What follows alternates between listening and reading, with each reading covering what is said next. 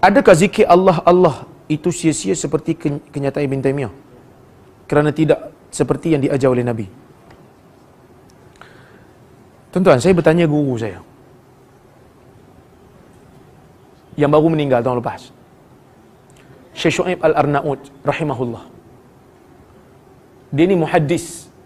Ulama hadis yang banyak mentahkik manuskrip-manuskrip lama.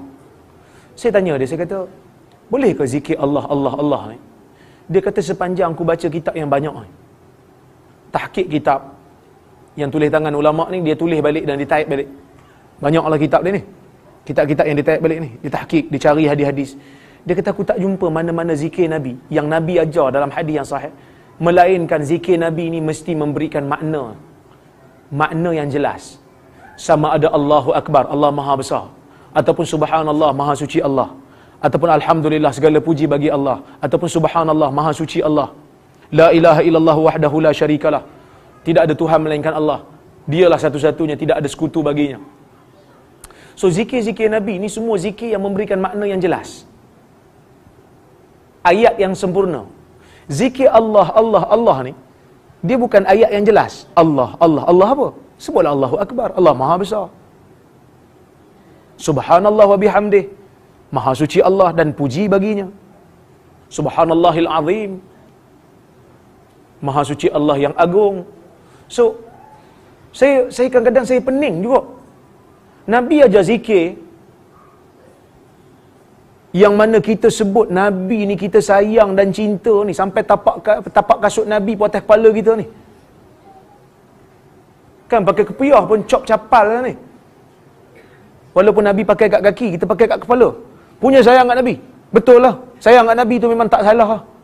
Tapi kenapa bila Nabi ajar satu benda, kita tak mau ikut? Pasal apa? Sayang kat mana tu? Dia kalau sayang kat bini ni. Bini bagi benda murah pun, eh, pakai. Betul tak? Bini bagi pakaian murah sikit. Pakai. Sebab sayang kat bini. Hargai dia. Tapi sayang kat Nabi, kononnya sayang kat Nabi, habis satu malam buat konsert cinta Nabi, beratus ribu habis. Tapi Nabi aja satu benda, tak mau pakai. I cannot brain this. Saya tak boleh fikir benda ni. Betul kita heran. Zikir Allah, Allah, Allah ni siapa yang kata dia berfaedah? Tak ada setakat ni. Yang kata ulama-ulama. Ulama ni dia bukan tahu benda gaib. Mana dia tahu Tuhan suka benda tu? Bila dia jadi Nabi? Bila dia deal dengan Allah masalah ni? Tapi kalau kita mengamalkan zikir-zikir Nabi, Subhanallah 33 kali. Alhamdulillah 33. Confirm Nabi kata Tuhan suka. Apa lagi ragu-ragu yang ada dalam jiwa kita? Melainkan syaitan sedang main dengan kita dalam masalah. Apa yang menyebabkan kita tak mau buat yang Nabi suruh ni? Melainkan syaitan sedang main dengan kita. Atas nama cinta, kita meninggalkan ajaran Nabi. Tapi kita kata kita cinta Nabi. Adakah nanti bila Nabi kalau lah kata Nabi hidup lagi, duduklah majlis ni. Ajar kita ajar zikir yang Nabi tak ajar. Nabi kata bagus engkau ni. Boleh kau renovate ajaran aku. Terima kasih banyak. Adakah Nabi akan cakap macam tu? Tak. Nabi Nabi me, melarang kita melakukan bid'ah dalam agama. Melarang kita ubah suai benda yang dia buat. Kerana agama ni Allah Taala sebut al-yauma akmaltu lakum dinakum. Hari ini telah aku sempurnakan bagi kamu agama kamu. Islam dari sudut ibadatnya, dari sudut akidahnya, dari sudut zikir-zikirnya telah disebutkan oleh para nabi. Maka sebab itu Imam Nawawi tulis kitab Al-Azkar, Imam Nawawi tulis kitab Riyadhus Salihin untuk bagi tahu kepada umat di zaman itu, di zaman dia.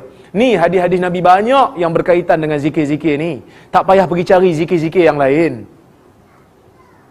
Kerana zikir-zikir yang lain ni, mereka yang mereka tu tidak pernah diutuskan oleh Allah untuk menjadi nabi kita, untuk mengajarkan ibadat kepada kita. Sebab itu saya sebut tadi, ulama ni menjadi istimewa kerana dia membawa ilmu nabi. Kerana dia membawa warisan nabi. Kalau dia bawa ilmu dia sendiri, dia tak ada nilai di sisi manusia. Pada agama lah. Kerana agama ni dia ada tuan dia. Allah dan Rasul.